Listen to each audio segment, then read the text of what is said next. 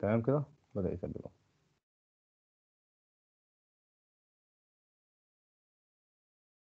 فكانت المسألة اللي معانا المرة اللي فاتت هي المسألة دي. إيه، كان عايز يغطيها باستخدام cylindrical shell with beam فكنت قلت لك عشان نصمم ال cylindrical shell في شوية خطوات بنمشي عليها.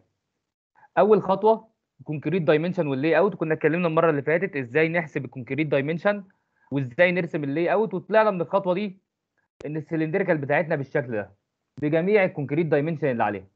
كنا حسبنا الاي وحسبنا الفاي وحسبنا البي والبي كابيتال والتي اس 1 والتي اس 2 والبي نوت وحسبنا الاتش والاف والدي كل ده حسبناه. الخطوة الثانية حساب الأحمال. كنا حسبنا الأحمال لل beam action وصممنا ال beam action الخطوة الثالثه straining action لل beam action الخطوة الرابعة ال long steel لحد هنا وكمان design ال shear لحد design ال shear كل ده انت بتصمم beam action يعني بتصمم في الاتجاه ال- القصير بتاع الأرض. يعني ال span بتاعك هو ال 21 متر. وعشان الأرض هي باكية واحدة فكان ال cylindrical بتاعتنا simple يعني مرتكزة من ناحيات على diaphragm ومن الناحيه الثانية على diaphragm وكنا لحد هنا خلصنا design ال beam action. الخطوة السادسة بقى دي برضو تبع ال beam action. بنعمل حاجة اسمها check buckling يعني إيه check buckling نتيجة إن الشكل اللي قدامك ده cylindrical كده وعليه ضغط من ال moment. يعني لو رسمنا ال statical system بتاع الكمرة دي أو بتاع ال beam action كان عبارة عن simple beam كده وكان عليه عزم. العزم ده بيشد تحت ويضغط فوق. يعني لو رسمته على ال section هيبقى عامل كده. بيشد تحت ويضغط فوق. نتيجة الضغط اللي فوق ده ممكن ال cylindrical دي تقلب منك لتحت ولفوق توقع كده اقوس كده ورقة واضغط عليها من الجناب. هتلاقي عايزة تقوس تحصل لها buckling فانت بت check على ال buckling ده ان هو ما يحصلش. ال check buckling ده أنا بسميه check stresses. يعني هو إحنا بنعمل حاجة اسمها check stress على ال upper flange زي ما هتشوف كمان شوية. بتأكد إن الإجهاد الضغط اللي الخرسانة بتقدر تشيله فوق. بيساوي أو أقل من آسف أكبر من الإجهاد الضغط اللي واقع عليها من ال moment ده. بتأكد إن قدرة تحمل الخرسانة فوق في الضغط أكبر من الإجهاد الضغط اللي واقع عليها من ال moment الخارجي. بس ده اللي هنعمله اللي هو check buckling الخطوة السابعة هنعمل design لل arch action كنت قلت لك المرة اللي فاتت إن ال cylindrical shell لو هترصها بترصها في الاتجاه الطويل للأرض. كده. وفي الاتجاه الثاني ال cylindrical بتمشي. تبقى عاملة كده. ده كده شكل ال cylindrical في الاتجاه القصير ده بنسمي الاتجاه ده ال beam action ده ال beam action ونتيجة اتصال الحلقات دي مع بعض بيتكون شوية عزوم في اتجاه اسمه ال arch action اللي هو في اتجاه ال arch. موازي لل arch. فاحنا صممنا المرة اللي فاتت ال beam action ده. النهارده في الخطوة رقم سبعة هصمم لك شوية العزوم الناتجة من ال arch action ونشوف قيمتهم بكام وبنصممهم إزاي. الخطوة الثامنه حساب حاجة اسمها ال area s due to diaphragm rigidity والخطوة التاسعة ال reinforcement detail إحنا كنا ال section اللي فات خلصنا لحد الخطوة رقم خمسة. النهارده هنتكلم على الخطوة رقم 6 و7 و8 و9 الخطوة السادسة اسمها check buckling أو زي ما قلت لك أنا بسميها ال check stresses يعني بعمل check على ال stress أو على الإجهاد اللي ناحية الضغط. بتأكد إن الإجهاد اللي الخرسانة بتقدر تشيله في الضغط أكبر من الإجهاد الواقع عليها من ال moment الخارجي. فيبقى يا باشمهندس ال check buckling بعمل check بإن الجزء الاسطواني ده مش هيحصل له انبعاج وأنا بحوله في الآخر ان بعمل check ان لو ده القطاع اللي عندي وعليه moment زي ده والقطاع ده كله على بعضه كده ليه axis ده؟ القطاع ده ليه axis ده؟ ده مكانه فين؟ ان شاء الله هنعرف كمان شوية. يعني بيبقى قد إيه من تحت؟ هقولها لك كمان شوية بنحسبها إزاي. نتيجة العزم اللي عندك ده بيتكون stress على الشكل اللي قدامك ده. إجهاد. طب ال stress ده عامل إزاي؟ بيضغط فوق ويشد تحت. هيبقى عامل كده. ال f c actual فوق ده compression وده ال tension وكنا بنقول لك إن البعد فوق هنا اسمه y إيه ال y ده يا باشمهندس؟ البعد من neutral axis لحد الحتة المضغوطة من الشكل. يعني لو العزم اتقلب العزم بتاعك لو كان سهمه تحت وديله لفوق كان هتبقى ال Y الحتة اللي تحت. هي بتفرق في المسألة؟ آه بتفرق. ودي فكرة امتحان على فكرة. كان جايب لك ال cylindrical fixed free يعني حتة الأرض diaphragm واحد بس. كان بيغطي حتة أرض صغيرة 5 متر ولا حاجة. فكان عامل diaphragm واحد في حتة واحدة. فلو هي fixed free هيبقى ال moment كله فوق. يعني ديل السهم لفوق وراس السهم لتحت فال Y تتحسب العكس. يبقى ال Y تعرفها إيه؟ المسافة من neutral axis لحد الفلانجة المضغوطة. والله المضغوطة الفلانجة المضغوطة دي يكون تحت يا فوق على حسب اتجاه العزم طب إحنا عايزين نعمل إيه بقى؟ عايزين نتأكد إن ال Fc actual اللي هي بتساوي 75% من الإجهاد اللي واقع على الخرسانة من ال moment الخارجي. اشمعنى 75% لأن الشكل بتاعك cylindrical شبه ده مش مستطيل. فلقينا إن الشكل ال cylindrical ال Fc actual بتاعته بتساوي تقريبا 75% من ال Fc العادية بتاعت المستطيل. يبقى أنا هحسب ال Fc العادية بتاعت المستطيل وأقوم جاي ضاربها ب 75% طب المفروض ده إن الكلام ده يبقى عامل إزاي بقى؟ يعني أقول إن هو safe ولا unsafe إزاي؟ لازم الكلام ده يا باشمهندس يبقى أقل من أو بيساوي ال F allow يبقى أنت مهمتك بكل بساطة في ال check buckling تعمل إيه؟ تحسب ال Fc هنحسبها كمان شوية. نضربها ب 75 من 100 نجيب ال Fc actual أقارن ال Fc actual بال F allowable بتاع ال buckling وال F allowable buckling ده قانون. وعلى فكرة القانون ده أهو جه MCQ السنة اللي فاتت. يعني ممكن ال MCQ يجي لك في هيئة قانون عادي. كان بيقول لك ال allowable buckling بيساوي وكانت كانت كاتبة دكتورة نسرين أربع قوانين. منهم القانون الصح الناس اختارته. فأنت كل مهمتك يا ريس إنك هتحسب حاجتين. أول حاجة هنحسب ال Fc actual الإجهاد الفعلي. اتفقنا إن ال Fc actual بيساوي 75% من ال Fc من إجهاد الضغط الواقع على الشكل نتيجة ال moment الخارجي. طب أي إجهاد ضغط أو أي إجهاد عموما ناتج من عزم كان بيساوي إيه؟ قال لك أي إجهاد ناتج من عزم كان بيساوي M في Y على I أو M على I في Y ال moment هو ال moment الخارجي. الناتج من ال beam action أنا قلت لك إن ال check buckling خطوة من ضمن خطوات ال beam action فإحنا المرة اللي فاتت صممنا ال beam action على moment هنروح نجيب ال moment ده ونعوض بيه على الإجهاد ده. يبقى ال moment ده يا باشمهندس بتاع ال beam action ال Y هي المسافة من neutral axis لحد الفلانجه المضغوطه بكررها تاني أهو. لأن ممكن العزم يجي مقلوب يجي الضغط تحت ساعتها ال Y تبقى العكس. على ال I بتاع ال neutral axis. يعني ال I ال inertia بتاعه الشكل كله حوالين ال neutral axis. يعني سعادتك عشان تحسب ال Fc محتاج ال Y ومحتاج ال I neutral axis. دول بقى لوحدهم موضوع. هنقعد في سلايدين جايين أعلمك إزاي بنحسب ال Y وال I neutral axis لشكل شبه ده كده. شكل غريب كده. طب بعد ما حسبت ال Fc اللي هي ناتجة من ال moment اللي جاي من ال beam action اللي كان ب 1950 أعمل إيه بعد كده؟ أقارن يا باشمهندس. ال Fc actual بالإجهاد المسموح به اللي هو ال F allowable بكام بقى ال F allowable ده؟ زي ما قلت لك القانون ده جه MCQ السنة اللي فاتت.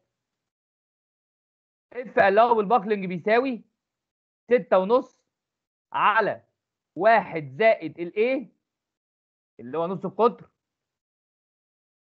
على 200 ال ts 1 قانون يا ابني حفظ. هتقارن ده بده. والله طلع safe كان بها طلع unsafe هقول لك نعمل إيه. يبقى لو ال Fc actual أقل من ال F allow ال buckling يبقى safe طب لو unsafe هقول لك في آخر المسألة بنعمل إيه. طب يا باشمهندس عشان نعمل ال check زي ما أنت واخد بالك المفروض إن إحنا نحسب ال Y وال I neutral axis للشكل العجيب ده. طب هنحسبها إزاي؟ تعالى بقى أعلمك إزاي أحسب ال Y وال I حوالين neutral axis لشكل عامل كده. مبدئيا يا باشمهندس المسألة بتاعتنا إيه؟ عشان نحسب ال Y وال I neutral axis هاخد حتة من المسألة. باكيه واحدة عرضها B يعني هاخد الحتة دي. اللي هي اتعملت عندك بالأحمر دي. هاخد الجزء ده من المسألة واحسب له الواي والاي نيوترال إكس ركز معايا بقى في اللي جاي ده. الحتة اللي أنا هاخدها دي يا باشمهندس هتلاقيها عبارة عن إيه؟ عبارة عن curve كده بنسمي ال curve ده sector يبقى ال curve ده يا باشمهندس اسمه sector وعبارة عن حتة كمرة كده. نص كمرة ونص كمرة. بنسمي الكمرات دي beam. يبقى الشكل بتاع سعادتك. عبارة عن نص كمرة ونص كمرة يعني كمرة كاملة و sector بالكامل. تعالى بقى أعلمك إزاي نجيب لشكل زي ده. ال Y وال I حوالين neutral axis. فأنا هتكلم عن كل جزء لوحده. يعني هتكلم عن الكمرة لوحدها إزاي نحسب لها ال I وإزاي نحسب لها ال Y بتاعتها. هتكلم على ال sector لوحده وبعد كده هجيب لك الشكل كله على بعضه. يعني يبقوا الاثنين مع بعض كده. تعالى يا باشمهندس شوف بنعملها إزاي. حد عنده أي سؤال؟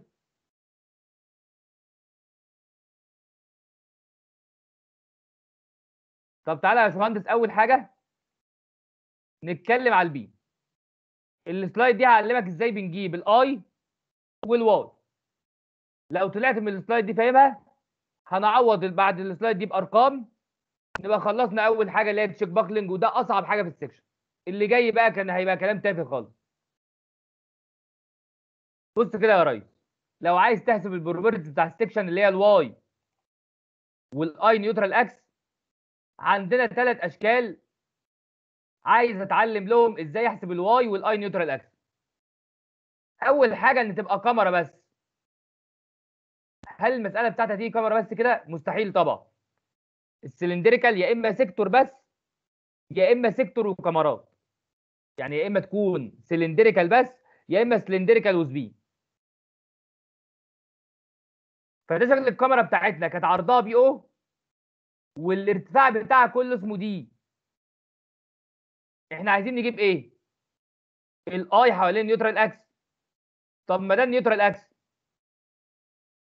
ده ال neutral axis اهو. عندك مستطيل. عايز تحسب له ال I بتاعته. I X بتساوي إيه قال لك ال I neutral axis بتساوي ال B O في ال D تكعيب على ال 12 ده قانون عارف طب لو قلت لك يا باشمهندس إن الضغط عندك أو العزم اللي عندك بيشد تحت ويضغط فوق يبقى فين ال Y؟ يبقى الحتة دي ال Y. بكام بقى ال Y؟ نص ال D. يبقى يا باشمهندس الدلتا دي اللي هي ال Y بتساوي نص ال D. كده كمان عرفت أجيب عمق الضغط قد إيه؟ شكرا كده خلصت. كمرة عرفت أجيب لها ال I neutral axis وعرفت أجيب عمق الضغط. طب سؤال يا باشمهندس. لو سعادتك عندك محور ركز معايا في الحتة اللي جاية دي. لو سعادتك عندك محور بيمر فوق هنا كده عند الكمرة وسميت لك المحور ده O O اللي هو بيمر فوق ده وعايز أجيب ال inertia حوالين المحور ده يعني عايز أجيب ال I حوالين O O كنا بنعمل إيه؟ لو عندنا مستطيل وعايزين نجيب ال inertia اللي فوق ده إيه؟ اللي عند محور فوقه كانت بتساوي ال inertia بتاعت المستطيل ال B O في ال D تكعيب على ال 12 زائد المساحة في. أو ناقص المساحة في مربع البعد زائد آسف المساحة في مربع البعد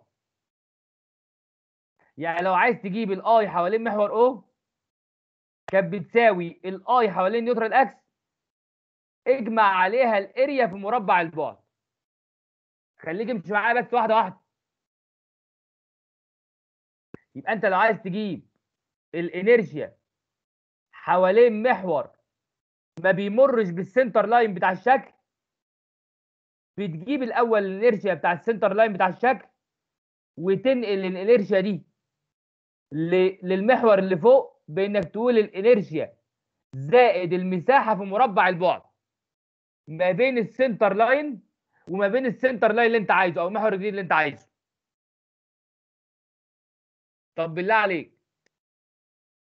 لو سعادتك هو مش شرط يكون على حافة صح؟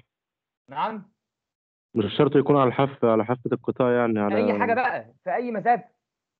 يعني لو هنا عند القطاع هجيب الدلتا بس بتاعته.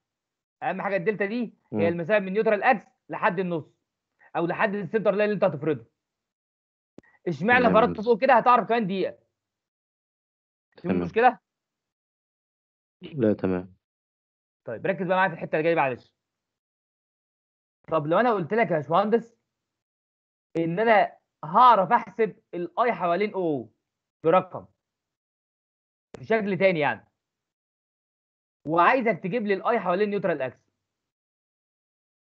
تعرف تعملها؟ يعني معايا ال I O برقم. بس مش عارف ال I بتاع neutral axis بكام. تعرف تعمل إيه؟ آه هتقول ال I neutral axis بيساوي ال I حوالين محور O O ناقص ال area في مربع البعد القانون بالعكس. فنقول لك يا باشمهندس إن لو أنا عايز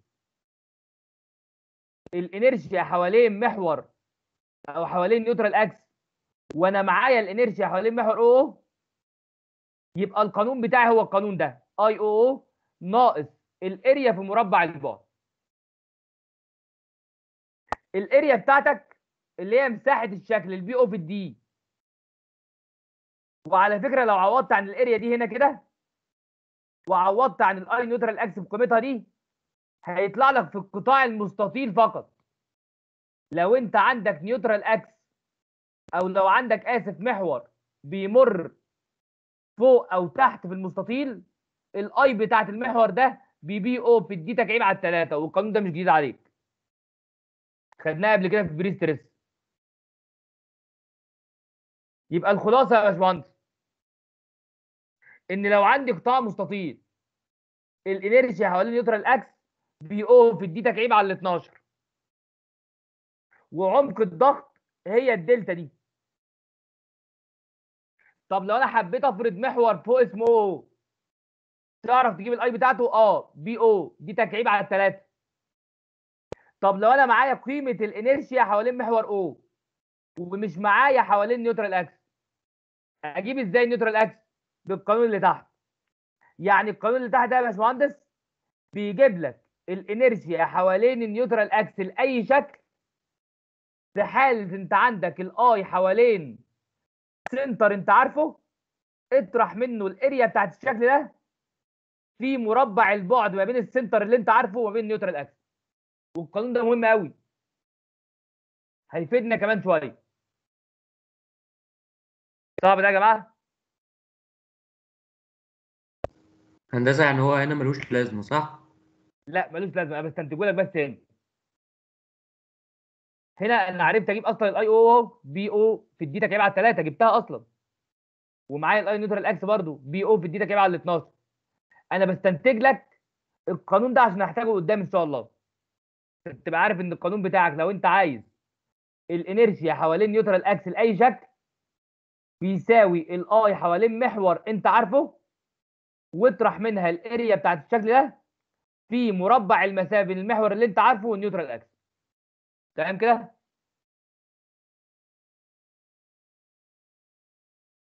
طب تعالى يا باشمهندس نجيب الخصائص اللي هي ال Y وال I neutral axis لو انت عندك sector بس. لو انت عندك شكل sector. على فكرة ال sector ده هو هو ال cylindrical without beam يعني beamless ممكن في الامتحان ال cylindrical اللي تجيلك تكون without beam فأنت هيبقى حلك زي ما هحل دلوقتي. لو ده ال sector بتاعنا ودي الأبعاد اللي أنا عارفها الاف والبي والتي اس واحد والبي لو فتحت صفحة 8 في ال manual هتلاقي إن الشكل ده مرسوم قدامك هو هو. ومزود عليه محور تحت كده اسمه O وعامل لك ده ال neutral axis بتاعك. يعني الشكل بتاعك ده ال neutral axis بتاعه بتاع ال sector وده center اسمه O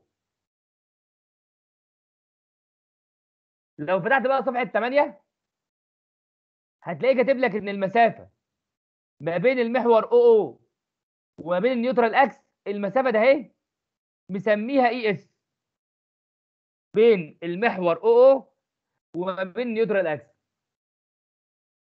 هو انت عايز إيه من الشكل ده يا باشمهندس؟ رقم واحد. عايز ال Y. طب بص كده. قبل ما اكتب لك اي حاجة. لو قلت لك ان الضغط هنا فوق والشد تحت تبقى ال Y فين؟ دايما ال Y. هي المسافة من ال neutral axis لحد الفلانجة المضغوطة. يعني دي ال Y. طب بمجرد النظر كده ال Y ده هي بتساوي إيه؟ F ناقص e s يعني ال Y لو عرفت ال e s بكام ما ال F انت جبتها قبل كده في ال concrete dimension لو عرفت ال e s بكام هجيب لك ال Y كلام جميل. طب عايز ال I حوالين ال neutral axis لو دخلت صفحة 8 في ال manual هتلاقي حاجة غريبة. الراجل بيحسب لل sector ال I حوالين محور O وبيحسب له ال e s والكلام ده بيتجاب من صفحة 8 في ال manual. بمعلومية 2 F على B يعني بحسب القيمة دي لو فتحت معايا ال manual صفحة 8 هتلاقي عندك chart ين. رسمتين كده. رسمة فيهم بتجيب لك معامل اسمه بيتا والرسمة الثانية بتجيب معامل اسمه لامدا ومالناش دعوة بيه. بستخدمهم الر- الر- الرسومات دي. ان احسب ال I بتاع ال sector حوالين محور اسمه O O يا ريته بيعرف يحسب حوالين neutral axis.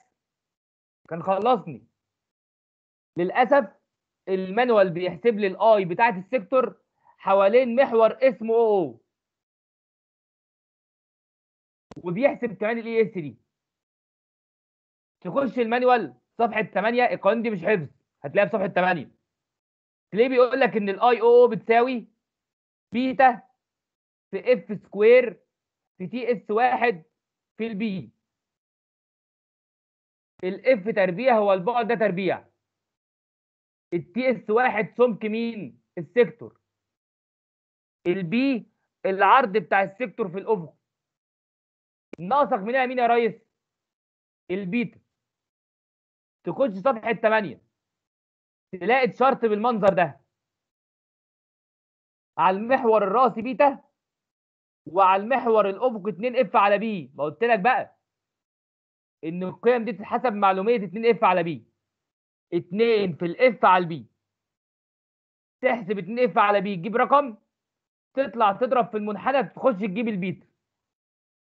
تعوض عن البيتا بقيمتها وال F square بقيمتها وال t s واحد وال B تجيب ال I حوالين محور O طب بالله عليك يا باشمهندس.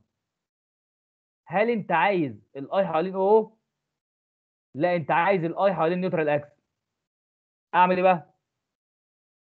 حد عارف؟ نفس الفكرة.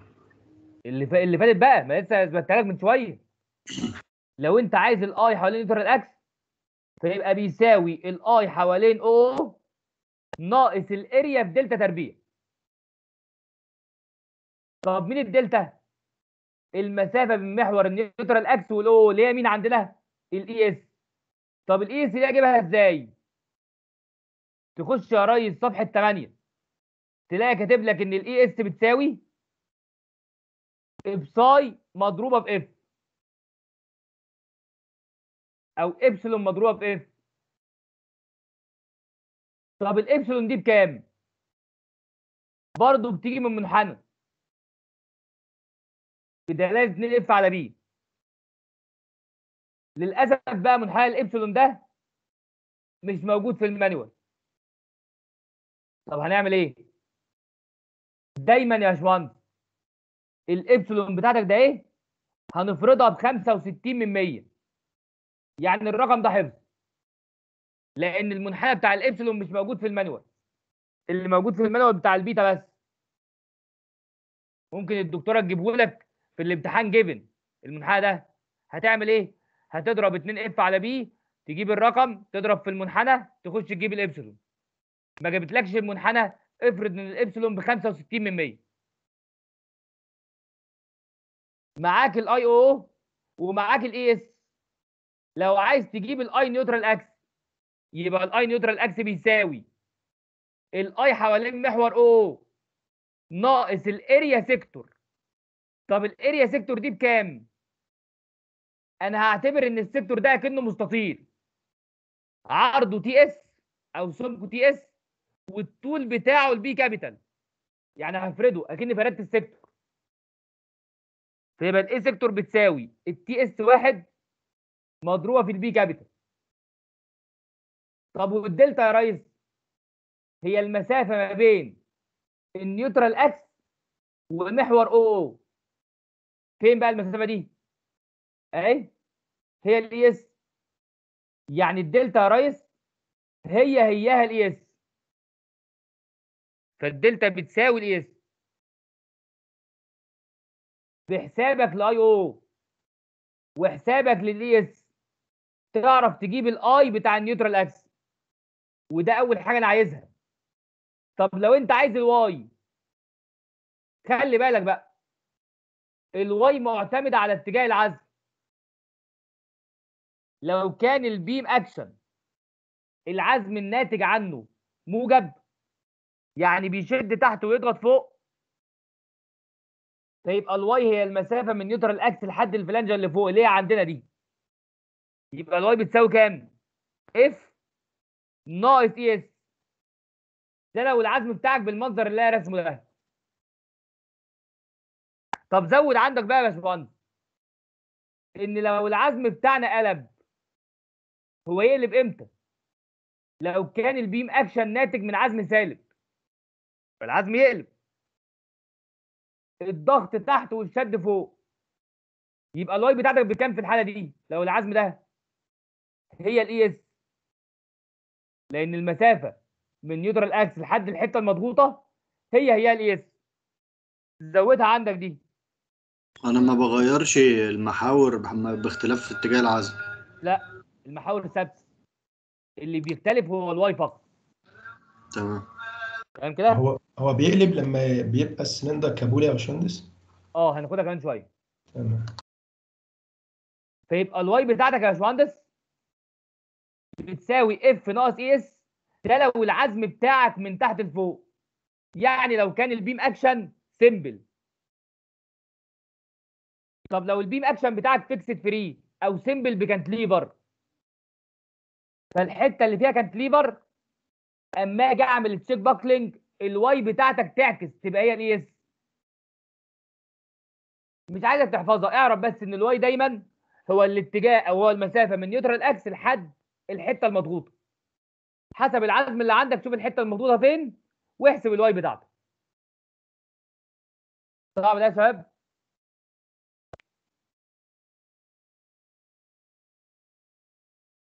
طب لو عندي بقى الاثنين مع بعض يعني لو عندي beam و sector مع بعض يعني عندي cylindrical with beam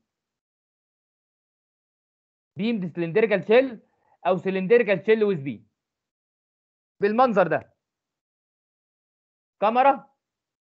و sector بس الكمرة بتاعتنا اللي كان عرضها b o قسمناها على الاثنين بقت هنا b o على الاثنين وهنا b o على الاثنين بالنسبة لل beam أنا دايما يا باشمهندس لو عندك cylindrical shell with beam بفرض محور ركز في الحتة دي. ما بين ال sector وما بين ال beam وبنسميه أو أو ده محور أعلى ال beam وأسفل ال sector. لو هنتكلم على ال beam لوحدها فبجيب لها حاجتين. ركز بقى. لو عندي سلندريكال شيل ويز بيم بجهز البيم لوحدها حاجتين. إيه هما؟ ال area beam مساحه الكمرة وال I o o بتاع ال beam. إيه ال I o ده؟ الاي حوالين المحور اللي اسمه o طب المحور o ده يا باشمهندس؟ موجود فين في الكمرة؟ موجود فوق خالص. يعني ال I بتاعته بكام؟ بال b o في ال d تكعيب على الثلاثه يعني كنت بحسب لك ده إيه؟ عشان استخدمها في ال beam وال sector مع بعض. طب بالنسبة لل sector قال لك بالنسبة لل sector لوحده اللي هي الحتة دي كده خليها اظللها لك كده. اللي هي الحتة دي. ال sector ده لوحده كده ليه neutral axis في النص. ليه علامة الزائد دي اهي. وأنا عارف ان المسافة بين المحور o اللي هو تحت خالص. وال وال وال center line بتاعه اسمها e s طب بالنسبة لل sector ده بجهز له إيه؟ بتجهز له ثلاث حاجات. أول حاجة ال area sector وعرفت بجيبها إزاي.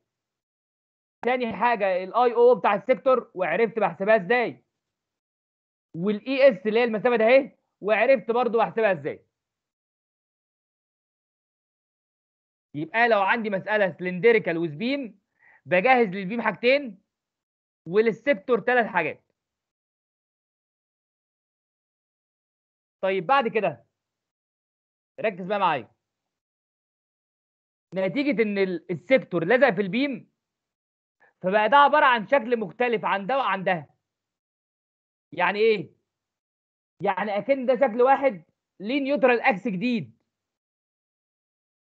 وغالبا ال neutral axis الجديد ده بيكون ما بين neutral axis ال sector وما بين محور أو اللي هو ده. اللي بالأخضر ده. ده ال neutral axis بتاع الشكل بالكامل. ال sector وال beam مع بعض. أنا كنت بعرف أجيب ال neutral axis بتاع ال beam لوحده وبعرف احسب ال neutral axis بتاع ال sector لوحده. للاسف الاثنين مع بعض ليهم neutral axis جديد. بيكون ما بين ال O O وما بين علامة الزائد بتاعة ال sector اللي هو ال neutral axis بتاع ال sector يبقى اللي بالاخضر ده neutral axis ال sector وال beam مع بعض. طب عايز اعرف مكانه فين؟ اتفضل. هي ال O O ده يعني المحور اللي هو ال center ال O ده إحنا اللي فرضينه آه فارضينه. تمام. فارضينه فين بقى؟ أسفل ال sector وأعلى الكمرة. أيوه أيوه. الحتة اللي ما بينهم. آه فارضينه طبعا. خلاص تمام. تمام. يبقى. ال neutral axis ده يا باشمهندس ده المحور بتاع الشكل بالكامل. طب عايز أجيب بعده عايز أعرف هو مكانه فين بالظبط. لو سميت لك المسافة دي e من neutral axis لحد تحت سعادتك تعرف تحسب ال e دي بكام؟ أفكرك كده يا باشمهندس. عزم لو أنت أيوه بالظبط. لو أنت عندك T section وعايز تجيب ال neutral axis بتاعها فين؟ مسألة سنة تانية. وده ال neutral axis بتاعك. بتعمل أنت إيه؟ بنقول لك جيب المسافة ده إيه؟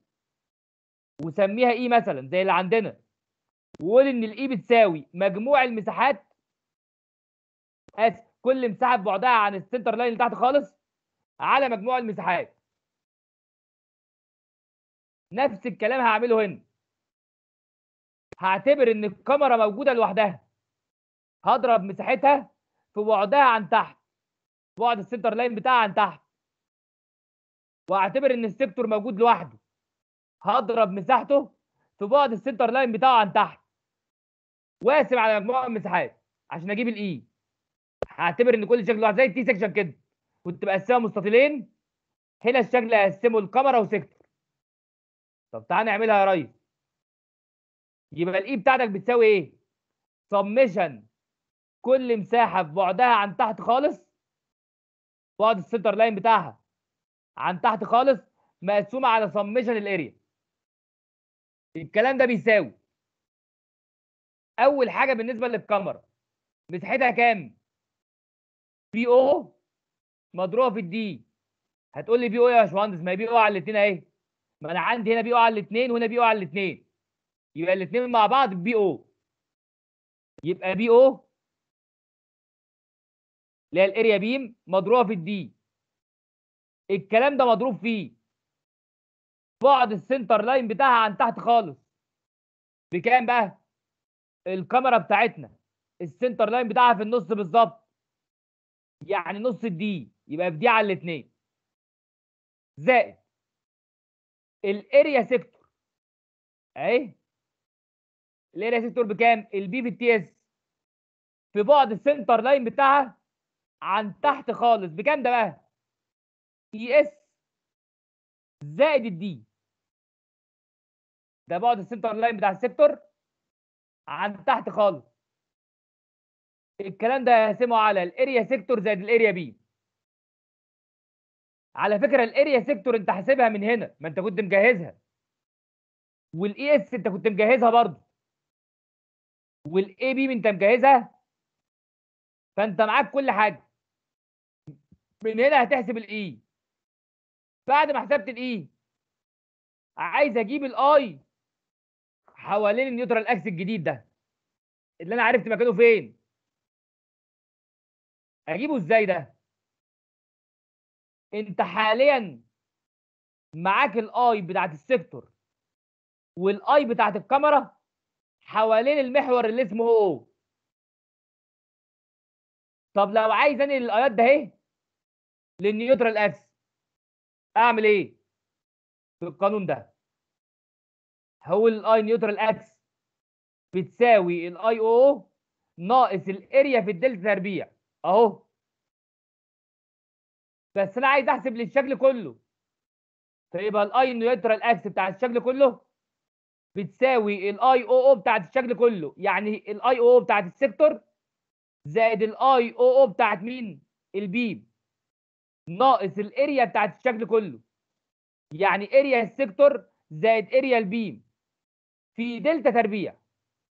إيه الدلتا تربيع؟ قلت لك هي المسافة ما بين ال O O وال neutral axis. اللي هي فين هنا بقى؟ اللي هي المسافة دي. دي الدلتا. المسافة بين O O وال neutral axis. دي اسمها الدلتا يا ريس. طب لو انت كده باصص هنا الدلتا بكام؟ e ناقص d يبقى الدلتا بتاعتك يا باشمهندس ب e ناقص d يبقى ال I o I o sector زائد I o B ناقص ال area للشكل كله اللي هي الاريا سيكتور زائد الاريا بي في الاي ناقص الدي الكل تربيع اللي هي دلتا تربيع. دي ال I neutral axis للشكل كله. صعب يا شباب؟ حد عندي ده؟ عندي اتفضل. سؤال واحد بس اتفضل. آه، إحنا لو التزمنا كأن الشكل آه، ال beam بس لو أنا خدت ال beam بس وحبيت أجيب ال I بتاعتها حوالين ال o o ماشي هجيبها عن طريق إن هو بيساوي ال I عند ال neutral axis زائد ال area في مربع البعد بس تمام لما أجي انقلها بقى لل neutral axis الجديد اللي هو لونه أخضر ده هقوم هقوم ضايف كمان مساحة في مربع البعد تمام. ده اللي عملته ده لو أنا خدت دي لوحدها. بس أه. هنا إحنا إن إنها تبقى ناقص ال area للشكل كله في مربع البعد لا انت أنت عاكس. إحنا عايزين I neutral axis إحنا جبنا I حوالين محور مش في ال neutral axis يعني إحنا عكسنا يعني أنت سلمي صح؟ أه. عكسنا يا سلمي. إحنا عايزين ال I حوالين o o أو آسف حوالين ال neutral axis المرة دي. يعني خليها فاهم. تمام. إيه بقى مشكلتك؟ لا لا أنا كان في مشكلة كنت في القانون بس لما خدت بالي إنها ال area للشكل كله ظبط تمام؟ تمام.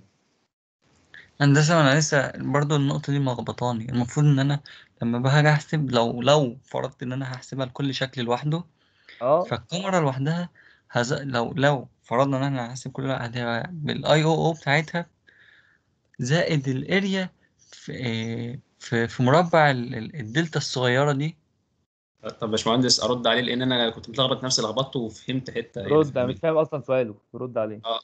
هو هنا القانون بتاع الناقص ده يا مايكل ال area دي للشكل كله. ما أنا فاهم. واخد بالك؟ أنت لو خدت بقى أنت لو أنت خدت ال- القانون الأولاني بتاع ال- ال B بال are- بال area بتاعته اللي هي الصغيرة دي وزودتها بعدين نقصت ال area بتاعت ال- الشكل اللي هو القانون الثاني اللي هو الشكل بتاع ال- اللي هو اسمه إيه for section only as beamless اللي هو تمام تمام. أيوه ال sec- القانونين دول لما يجمع لما لما تجمعهم على بعض هيطلع لك نفس القانون اللي هو انت طرحت منه ال area كلها في مربع البعد لأن ده باريته لوحدها وده الاريا بتاعته لوحدها فلما أنت تيجي مع بعض المفروض يطلع لك نفس القانون نفس شكرا الناتج يعني. شكرا. بس بس بس. أنا اتلخبطت خلاص يا ابني. هو كده يا ابني. يعني. بص ما تفكرش هي كده. أنا مش عايز أفكر أنا أح لا مش حفظ هي كده هو فهمتها لك بقى جاب منين بس هي كده. عايز تعملها بالطريقة الثانية هي صح برضه أنت بتقول بس هتقعد بقى تلف حوالين نفسك. تقعد الأول تنقله وبعد كده تروح تنقله الناحية الثانية طب ليه بقى؟ مش هنقله الناحية التانية هي فكرة إن أنا مثلا تنقله مرتين ما عايز تنقله مرتين. إيه لا مش هنقله مرتين ولا حاجة. أنا اللي أنا بتكلم فيه إن أنا ال- ال beam هجمع فيها إيه، الدلتا بتاعتها هجمع. إنما في في ال sector هطرح نفس الدلتا. هتبقى الدلتا ثابته من غير بقى ما أعمل e ناقص d؟ براحتك بقى لو طلعت نفس الناتج جربها كده لو طلعت نفس الناتج تمام. هبقى أجربها هندسة. تمام. فأنا كده جبت ال I neutral axis للشكل كله حوالين ال neutral axis الجديد. ناقص لي أجيب ال y أجيب ال y إزاي بقى؟ قال لك يا باشمهندس حسب العزم زي ما اتفقنا. وليكن العزم عندك كان بيشد تحت ويضغط فوق. يبقى ال y بتاعته منين؟ من neutral axis لحد فوق اللي هي الحتة دي؟ بكام بقى ال y دي؟ لو خدت بالك ال y ده هتبقى بتساوي الاتش كلها ناقص الاي يبقى لو انت عندك العزم بيشد تحت ويضغط فوق يبقى ال y بتساوي اتش ناقص اي طب فرضا يا باشمهندس كان الشكل بتاعك العزم معكوس كده. حد يقول لي بقى الواي تبقى بكام؟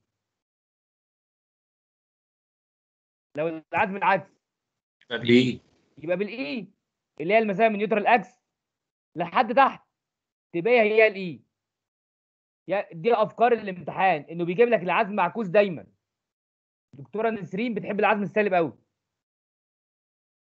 فلو العزم سالب يعني الضغط تحت يبقى ال y هي ال e لو العزم موجب زي المسألة بتاعتنا لأن كانت المسألة بتاعتنا simple فيبقى الواي بتساوي اتش ناقص الاي يبقى ال y بتاعتك يا باشمهندس اللي فوق ده إيه؟ بتساوي اتش ناقص اي عمق الضغط. تعرفها هي عمق الضغط. يبقى كده يا باشمهندس علمتك. إزاي بنجيب ال I حوالين نيوترال أكس لأي شكل من دول؟ وإزاي بنجيب عمق الضغط لأي شكل من دول؟ حد يا شباب مش فاهم ده؟ حد مش فاهم؟ يا باشمهندس كمل. ده تمام كده يا هندسة. طب تعالى بقى نطبق في المسألة بتاعتنا.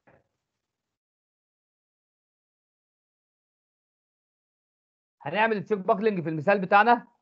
ادي يا باشمهندس كان عندنا cylindrical shell with beam عايزين نحسب أول حاجة ال properties اللي هي ال y وال I neutral axis زي ما اتفقنا مع بعض بناخد باكية واحدة نشتغل عليها اللي هي الباكية دي.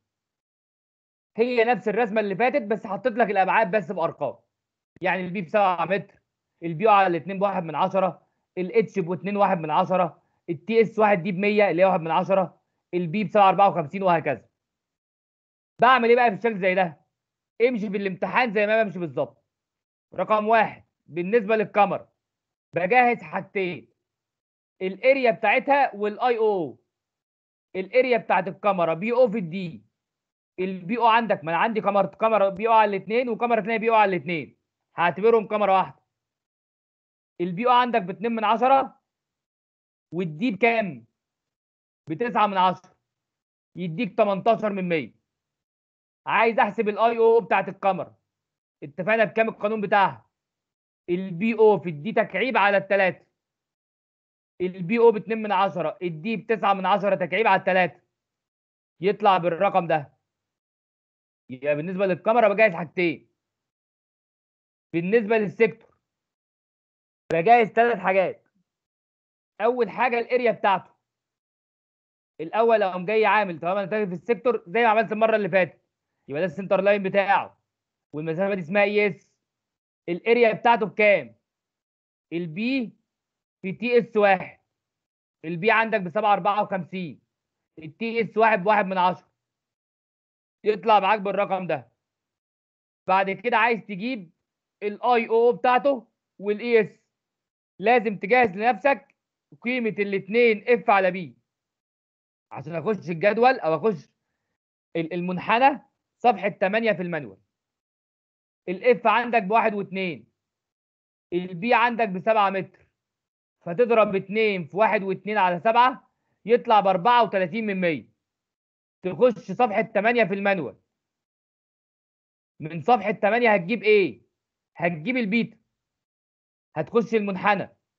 بالرقم ده تخبط في المنحنى تجيب البيتا. تطلع ب 55 من 100 بعد ما جبت البيتا أعرف دلوقتي أجيب لك ال I o دايما الابسلون ب 65 من 100 ده حفظ. ال I o بتاعت ال sector بتساوي إيه؟ بيتا في f square في t s واحد في ال b ما تحفظش ده. موجود في صفحة 8 في ال manual. ال beta عندك ب 55 من 100 ال f عندك بواحد واتنين من 10 ال t s واحد بواحد من 10 ال b الطول الأفقي اللي هو بسبعة من 10 تعوض يا ريس. أو آسف ال b بسبعة. يطلع معاك الرقم ده ب 554 من 1000 متر أس 4 عشان I. عايز أحسب ال e s ال e s بتساوي إبسلون في f epsilon ب 65 من 100 ال f بواحد واتنين من 10 يطلع لك ب 78 من 100 يبقى ال beam بجهز لها حاجتين A beam و I o ال sector بجهز لها ثلاث حاجات ال area sector وال I o وال e s بعد كده للشكل كله بقى. الشكل ك total بجيب أول حاجة حاجة اسمها ال e إيه هي ال e إن ده ال neutral axis بتاعنا. فالمسافة إيه اللي هي المسافة اللي تحت دي. ال e بتساوي إيه؟ summation A في y على summation A ال area بتاعت ال sector. ال area بتاعت ال sector. مضروبة في المسافة بين center line ال sector لحد تحت اللي هي e s زائد d المسافة ده إيه؟ زائد d زائد. مساحة الكمرة مضروبة في بعد ال center line بتاعها عن تحت اللي هو d على الاثنين مقسومة على A sector زائد A b ال A sector عندك. أهي جايبها قبل كده. ال e s عندك. ال d عندك. ال A beam جبتها قبل كده. و d على الاثنين عندك برضو وعندك المساحات. من هنا هتروح تجيب ال e تطلع بواحد 44 من 100 متر. بعد ما جبت ال e هروح أجيب ال I حوالين neutral axis من القانون ده. I o للشكل كله ناقص ال area في دلتا تربيع. إيه هي الدلتا يا ريس؟ هي المسافة ما بين neutral axis اللي بالاخضر والمحور اللي اسمه O. بكام ال delta؟ e ناقص d. فلو عوضنا في القانون يبقى ال I neutral axis بتساوي. I o بتاعت ال sector زائد ال I o بتاعت ال beam. ناقص ال area sector زائد ال area beam مضروبة في e ناقص d كل تربيع. لو عوضت ال I o بتاعت ال sector جبتها مرة. point 5 5 4 ال I o بتاعت ال beam جبتها. ال area sector عندك. أهي. ال area beam عندك. الاي اللي هي الاي كلها مش الاي اس الاي انت جايبها قبل كده ب 1.44 من 100 ال d ب 9 من 10 هتعوض؟ اوعى تنسى التربيع. هيطلع معاك إن ال I neutral axis ب 33 من 100 عايز تحسب ال y عمق الضغط. العزم عندي في المسألة بتاعتنا كان بيشد تحت ويضغط فوق. يبقى ال y هي المسافة دي. بتساوي اتش كلها. اطرح منها ال e تجيب ال y. يبقى الواي بتساوي اتش ناقص اي الاتش عندي ب 2.1 من 10 ال e ب 1.44 من 100 يديك 66 من 100 متر. حسبت ال I وحسبت ال y بتاعت الشكل ك total أعمل إيه بعد كده؟ أعمل ال check buckling بقى. سعادتك حسبت ال I وال y يبقى انت كده خلصت. هتخش بقى على ال check طب ال check كان بيقول لك إيه؟ محتاج تحسب حاجتين لل check ركز معايا. محتاج احسب حاجتين لل check إيه هما؟ اول حاجة الإجهاد الفعلي تاني حاجة الإجهاد المسموح بيه. الاجهاد الفعلي بنسميه FC actual بيساوي 75% من ال FC فأنا احسب في الأول ال FC بيساوي ال moment في I على Y. ال moment عندي ب 1950 بتاع ال beam action ال moment اللي صممت عليه beam action ال section اللي فات. ال Y عندي حسبتها أهو. ال I neutral axis عندك. هتعوض؟ هيطلع معاك إن ال FC ب 3900 كيلو نيوتن لأن ده كيلو نيوتن متر. على المتر المربع. طب عايز أحولها لميجا باسكال. يعني عايز أحولها لنيوتن على الملي متر مربع. اقسم يا باشمهندس على 1000 يبقى من كيلو نيوتن على المتر المربع. لنيوتن على الملي متر مربع هتقسم على 1000 يعني الرقم ده يطلع بيساوي 3.9 من 10 ميجا باسكال. هل بقارن بالرقم ده فعلا؟ لا. ده أنا باخد حاجة اسمها FC actual 75% من ال FC يبقى 75% من 3.9 من 10 يديك 2 93 من 100 ميجا باسكال. كده حسبت الإجهاد الفعلي. كل اللي فات ده كنت بجهز للإجهاد الفعلي حاجتين ال Y وال I neutral axis ال check هنا بقى. إن لازم الرقم ده أهو يطلع أقل من الإجهاد المسموح بيه اللي هو ال F allowable buckling 6 ونص على 1 زائد a على 200 ts 1 6 ونص على 1 زائد ال a عندك بخمسة وسبعة. كنا حاسبينها من concrete dimension ال ts 1 بواحد من 10 بعوض بالمتر. بعوض عن الأرقام دي بالمتر. ده بالمتر يبقى ده بالمتر. ال a بالملي يبقى ts 1 بالملي. يطلع لك ال F allowable buckling ب 5 و6 من 100 ميجا باسكال. safe ولا unsafe؟ ال actual الناتج من العزم الخارجي ب 92 من 100 ال allowable ب 5 و6 من 100 كده يبقى safe ولا unsafe safe كده يا باشمهندس يبقى safe وغالبا في الامتحان بتطلع safe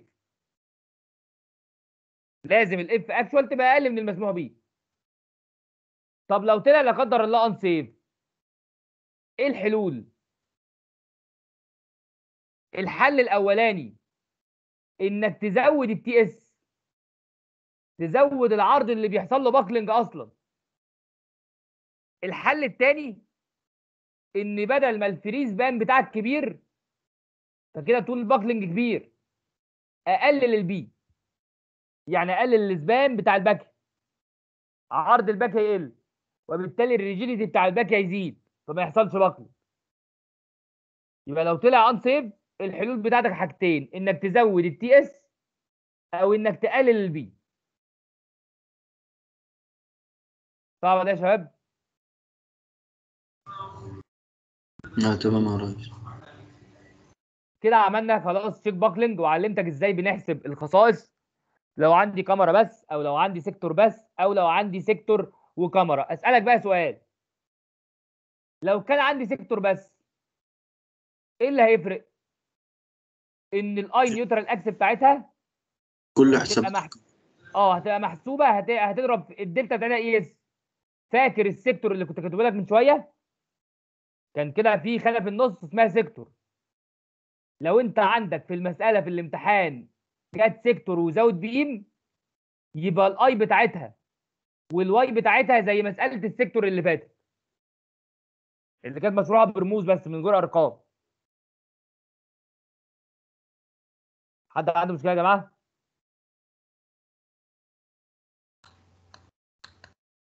يا طب تعالى نخش على الخطوة اتفضل. هو فاضل المفروض ساعة الا ربع ولسه تقريبا إحنا ما بدأناش ما دخلناش في نص ال... لا ما. لسه أنا بس ما تشغلش بالك يا سيدي سيدي ما تشغلش بالك الباشمهندس مظبط نفسه. ما تقلق. وبعدين المحاضره تبدأ قول لي وأنا هت- خلاص ه- هنهي السكشن على كده. أنا بنبه حضرتك بس لو لو مش واخد بالك بس في الموضوع. لا لا ما تقلقش. تعالى بقى نكمل بقية الخطوات. كده خلصنا ال check buckling ودي تعتبر أهم خطوة وأصعب خطوة في ال cylindrical shell هي مش صعبة هي بس محتاجة إنك تكون بس مصحصح شوية في الحسابات.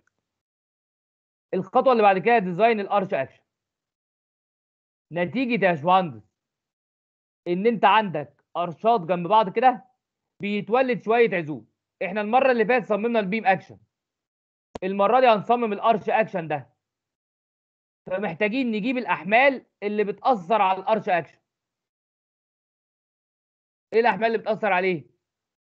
لو ده يا باشمهندس شكل ال cylindrical بتاعتنا فاحنا بنصمم ال arch action لباكية واحدة فقط. أو بحسب الاحمال بتاعت باكية واحدة بس. وال arch action بيبقى عليه حملين. حاجة اسمها ال P واحد وخدناها قبل كده مش جديدة عليك يعني. اللي هي ال own weight بتاعت ال sector. زائد ال floor cover. فال P واحد هي ال dead load.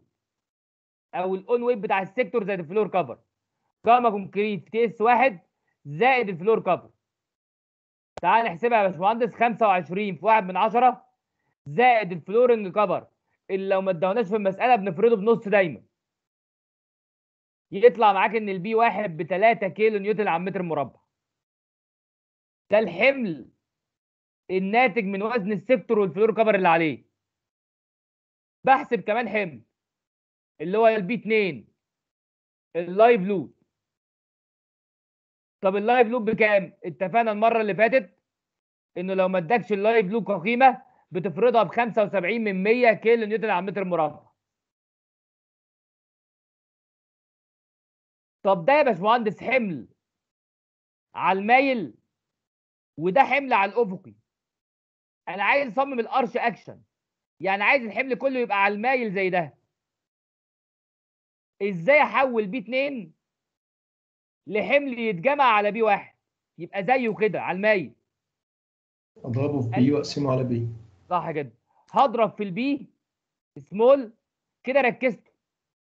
يعني ضربت P 2 في ال b small ده إيه ركزته عايز اجيبه على المايل اقسمه على الطول المايل اللي هي ال B capital. فلو انت عايز تجيب الأحمال بتاعة ال arch action بتساوي P واحد زي ما هي اجمع عليها P 2 مضروبة في b على B. ضربت P 2 في b ركزته بقى حمل مركز قسمته على الطول ده اللي هو المايل جبته على المايل تعال نعوض. يبقى 3 زائد 75 من 100 مضروبة في ال b small بسبعة وال B capital ب 54 يطلع معاك ب 3 69 من 100 وده الحمل اللي بيأثر على الأرش اكشن فيبقى يا باشمهندس الحمل اللي بيأثر على ال arch action ب 3 69 من 100 ده جبناه من ال slide اللي فاتت. عايزين نصمم بقى ال arch action. أصمم إزاي؟ يبقى إزاي ال arch action مقسوم خطوتين؟ خطوة حساب الحمل P واحد زائد P 2 في b على B. الخطوة الثانية حساب ال straining action اللي هي المومنتات والتصميم بعدها. دايما ال arch action ال straining action بتاعته ثابتة. قيم محفوظة وثابتة مش مختلفة ما بتختلفش. لو ده ال arch action بتاعك أو لو ده شكل ال arch فده شكل العزم ثابت دايما. ما بيتغيرش. لو سميت لك ال moment ده moment واحد فكنا اتفقنا ال section اللي فات إن قطاع ال arch من هنا سمكه 14 سم ومن هنا سمكه 10 سم وعلى مسافة x فال moment واحد ده باين كده إن هو ناحية مين؟ ال 14 يعني ال ts بتاعته فين؟ هنا ts 2 ب 14 من 100 ال moment ده بنسميه moment 2 هو هو ال moment ده على فكرة. moment واحد ده هو هو ال moment الثاني ده برضه. M 2 ده فين بقى؟ ده في النص هنا تقريبا. يعني تقريبا عديت ال x يبقى ال ts بتاعته بواحد من 10 M 3 ال moment الثالث ده برضه عنده بواحد من 10 فاحنا كل اللي إحنا عايزين نعمله أحسب لك قيمة المومنتات دي. قوانين محفوظة. وبعد كده هنصمم الثلاث مومنتات دول نجيب الحديد. اللي هو هيطلع في الغالب بال minimum. يعني أنت وأنت داخل كده بتصمم arch action أنت متأكد 100% إنه في الآخر هيطلع minimum 5 في 10 في المتر. لأن مفيش أحمال أصلا ماشية في الاتجاه ده. أمال إيه المومنتات دي؟ مومنتات ناتجة من إن arch جنب arch. يعني cylindrical جنب cylindrical جنب cylindrical عملت شوية مومنتات. طب عشان نحسب المومنتات ده إيه؟ محتاجين في البداية نحسب الزاوية دي.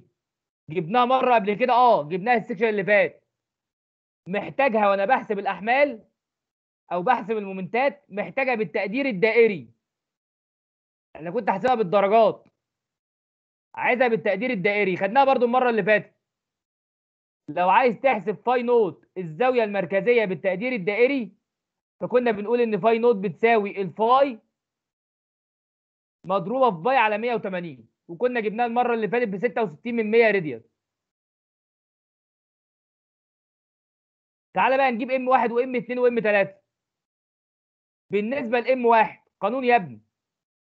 ال P اللي انت جبتها لل arch action مضروبة في phi o بالتقدير الدائري. تربيع. في ال a تربيع ال a بتاعتك دي تربيع. على 21 رقم ثابت. تعال نعوض. هتعوض عن كل حاجة بقيمتها؟ يطلع ب 248 من 100 يبقى إم 1 ده إيه بالقانون ده. إم 2 نفس القانون بالظبط.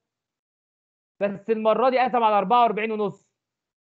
معنى كده إن إم 2 ده اهي أقل من إم 1 هتعوض؟ هيطلع معاك ب 1.19 من 100 إم 3 نفس القانون بالظبط. بس قسم على 48 معنى كده إن إم 1 أكبر من إم 2 وإم 2 أكبر من إم 3 بيساوي كام ده بقى؟ 1.8 من 100 بعد التعويض. عندي ثلاث مومنتات. المفروض آخد كل مومنت من دول وأصممه باستخدام ال C 1 J لأنه moment طب هل هعمل كده؟ لا يا باشمهندس في الامتحان بنصمم أكبر عزم فقط. باستخدام ال C 1 J أكبر عزم كان M 1 بس العزم ده محسوب working لأن الأحمال محسوبة working ارجع للسلايد اللي فاتت هتلاقيني ما ضربتش في أي معاملات أمان. خدت P واحد زائد P 2 في P على P فلازم أحول الأول ultimate واحد ونص في M واحد. يطلع ب 4 26 من 100 طب القطاع اللي بيقاوم ده اللي بيقاوم العزم ده قد إيه؟ ده العزم ده هنا. هو M واحد أكبر واحد. فالقطاع اللي بيقاوم بلاطة عرضها 1000 في depth 140 اشمعنى 140 لأن القطاع ام ال moment M واحد هو الكبير هو أكبر واحد فيهم. فال depth عنده ب 140 هتعوض في قوانين ال C 1 J. ال depth بيساوي ts ناقص cover ال ts ب 140 وال cover ب 20 تعوض في ال C 1 J عادي. يطلع معاك إن الحديد بتاعك بال minimum 5 phi 10 على المتر. وهو دايما في الامتحان هيطلع minimum. بس لازم تصمم برضه. التصميم عليه درجات. يبقى إزاي ال arch action كلام فارغ؟ بحسب ال P أحسب بال radi- بال radian أو ال phi بال radian وبعدين M واحد و M اتنين و M تلاتة آخد أكبر واحد فيهم اصممه مع مراعاة إن لو أكبر واحد فيهم هو M واحد دايما فال ts بتاعته ب 140 اتفضل. بعد اذنك هندسة. هو ليه شكل العزم بالطريقة دي؟ هو لو هو simple وخط مستقيم يعني هو مش simple ولا حاجة. هو الفكرة كلها إن ده arch ده عشان ترسمه أصلا محتاج ترسمه ببرنامج تحليل. لو رسمت الكلام ده على ال SAP يعني لو دخلت كا- كام كده cylindrical على ال SAP هتلاقي إن في عزم سالب بيبقى هنا. فالكلام ده مستنتج. ملوش إثباتات. فاهمني؟ طب هو ليه في عزم سالب أصلا؟ يعني هو لو هو زي simple وفردناها هتبقى parabola عادية. يعني ليه في عزم هو هنا سالب مفيش ركائز أصلا يا باشمهندس؟ هو مش ركائز. هو العزم ده ناتج من إيه؟ ناتج من إن جاي arch جنب arch جنب arch لو أنت حطيت arch ات يعني أنت عملت حتى بورقة كده arch ات جنب بعضها. وأثرت عليها بحمل. حتى لو الحمل ده بيتجه في الاتجاه الثاني هيتولد عليها عزم صغير. العزم ده هو العزم ده هو لما جم در- درسوه لقوا إن الحتة دي اللي هي ما بين ال arch ده وال arch اللي جنبه بيتولد عزم سالب. وفي هنا عزم بيبقى سالب برضه. تمام؟ ده من الدراسة ملوش اثباتات. تمام.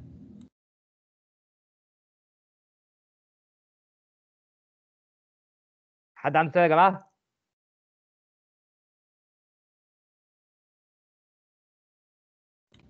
لا تمام يا ده بالنسبة ل design ال arch action الخطوة الثامنه خلي بالك فيه بس ملحوظة إن الحديد ده بيتحط top and bottom فكلام منطقي أنا صممت M واحد بس و M واحد ده عايز حديد فوق.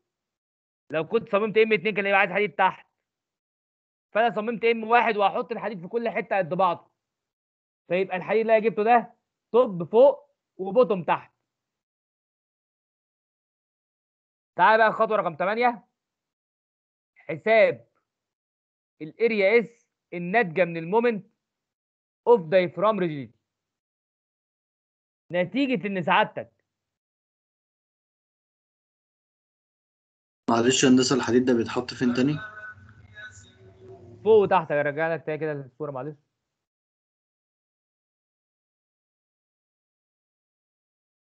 الحديد ده بيتحط هنا كده؟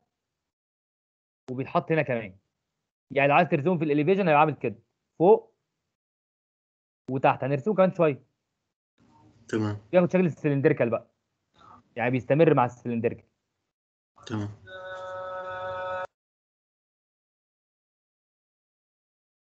تعالى بقى يا باشمهندس نحسب آخر حاجة أو نحسب الخطوه رقم 8 ال area S الناتجه من ال diaphragm rigidity سعادتك عارف إن إحنا عشان نعمل cylindrical shell قلت لك بنرص ال cylindrical shell على الاتجاه الطويل كده. وبيمتد لجوه.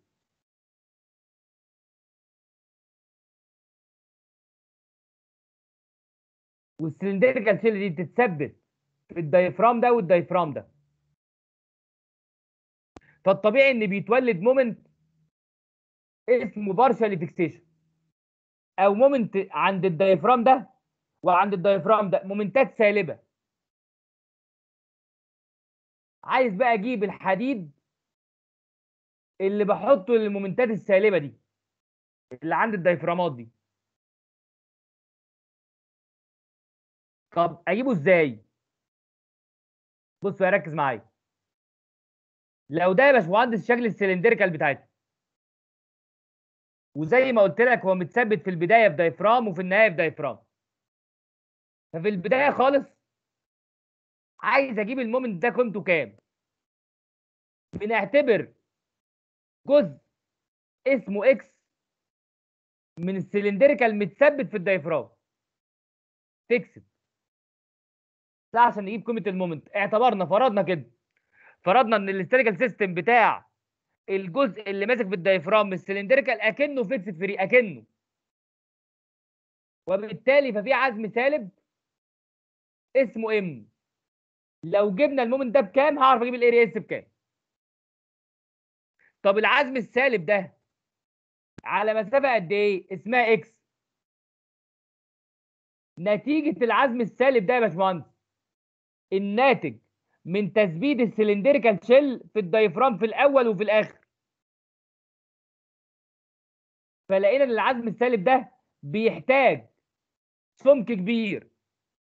يعني لو خدنا قطاع في بداية ال diaphragm كده هتلاقي إن ال diaphragm أهو وأدي ال cylindrical أهو نتيجة العزم السالب ده بنكبر سمك ال cylindrical شوية.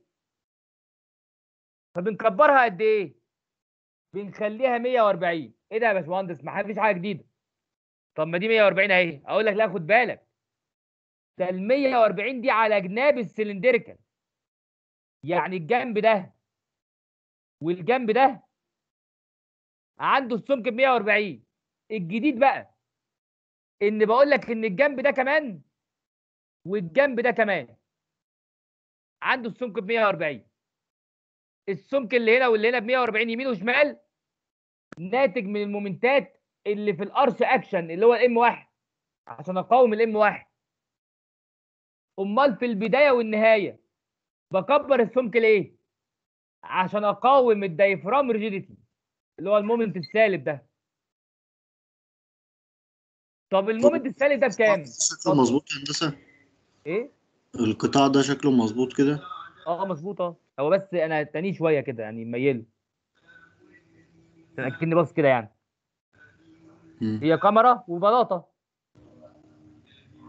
البلاطه دي straight أنت لو خدت قطاع كده هيبان لك إن البلاطة دي straight فعلا.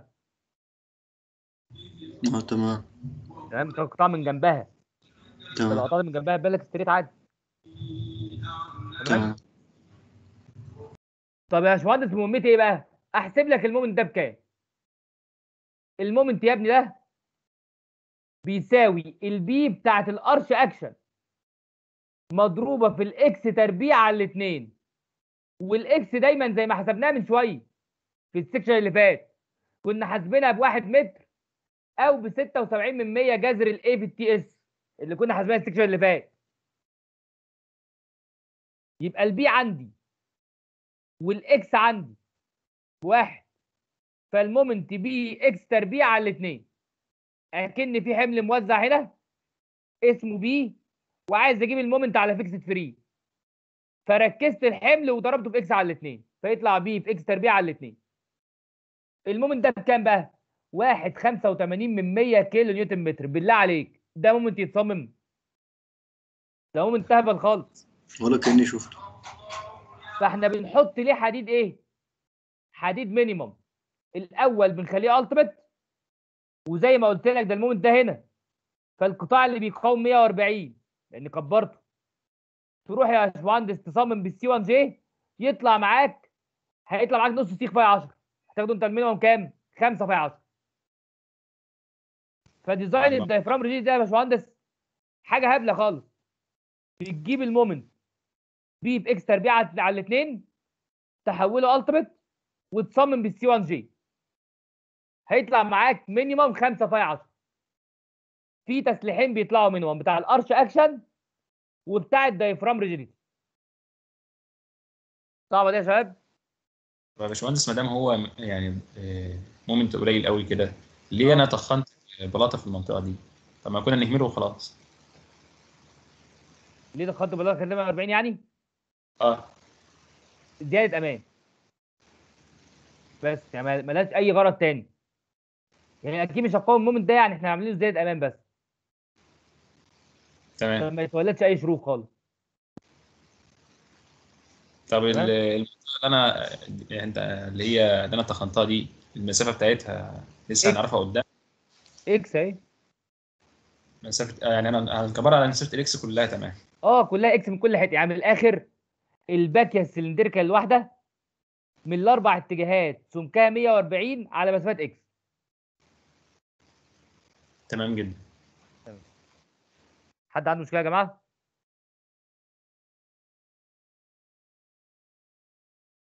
كده يا باشمهندس أنا خلصت ال design. لحد الخطوة رقم 8 الخطوة 9 رسم تفاصيل التسليح.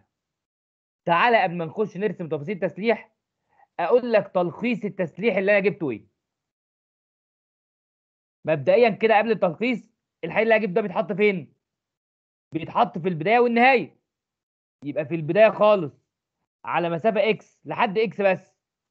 في 5 فاي 10 بيترصوا كده والناحية الثانية زيهم.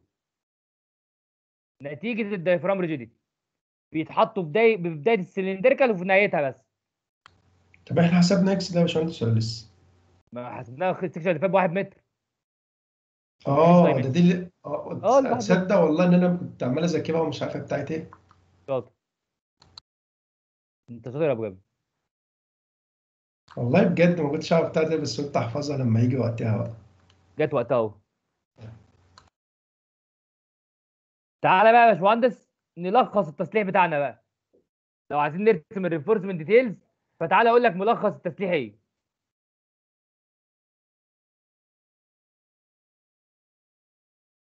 عندنا يا باشمهندس ده ال cylindrical بتاعتنا اهو. أنا جبت كام تسليح؟ بص في الخطوات كده. جبت long steel في ال beam action.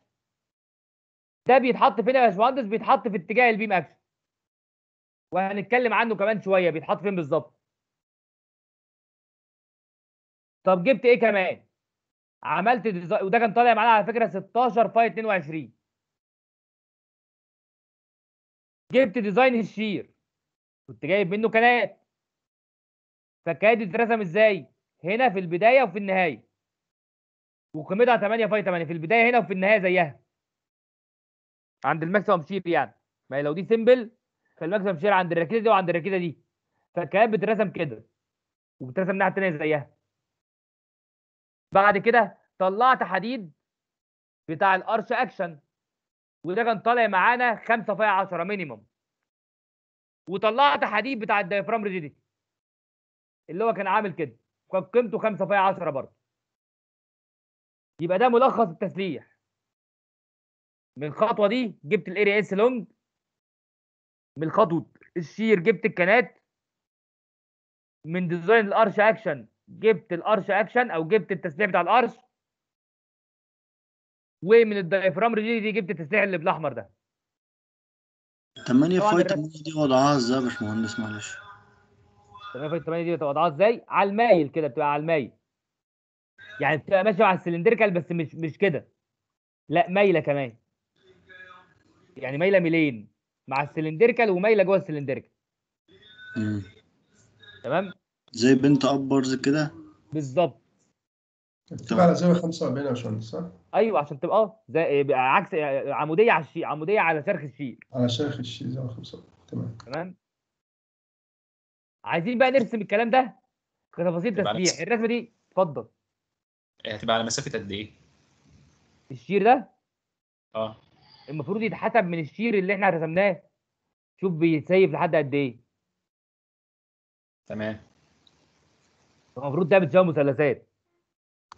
بس في الامتحان ما تعملش ولا تساوي ولا بتاع هو بس ترسم كده. آه.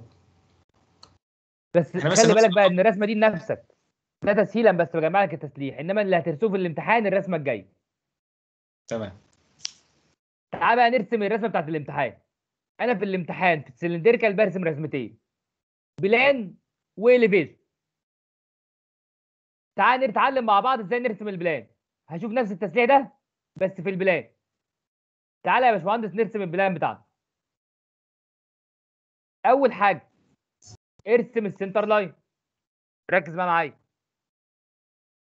يعني إحنا ارسم اتنين نقسم center line بس. مرتين elevation مرتين يعني مرة ن- مرة في ال concrete dimension ومرة في التسليح. آه. تمام.